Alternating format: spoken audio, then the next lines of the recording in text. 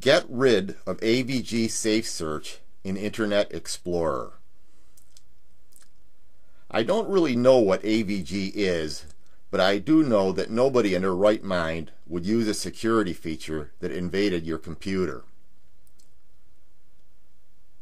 First and foremost, don't go to AVG's website. They don't want you to remove their search engine and their instructions are bogus. The toolbar can be removed like any other software by clicking Start, Control Panel, Programs and Features. But the default search engine is more difficult to remove.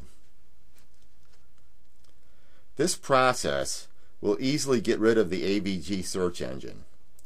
But as the process will warn you, it will return your browser to its original state. Any customizing you've done will have to be redone. First, open Internet Explorer and click on either the gear icon in the upper right or the Tools heading on the menu bar. Then select Internet Options. Next, click the Advanced tab of the Internet Options window. Then click Reset and you'll get the reset warning telling you what features that you may have customized that will be reset. I clicked the Delete Personal Settings box. You may want to skip this and see if it works, but you might have to try it again with the box clicked. Then simply click the Reset button.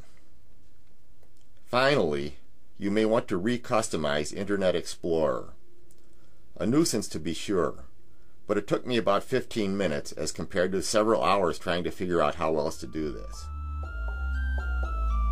If this tutorial helped you, why not check out my digital montages and music compositions at my virtual gallery at michaelstick.weebly.com or watch more of my videos on YouTube and tell your friends about them.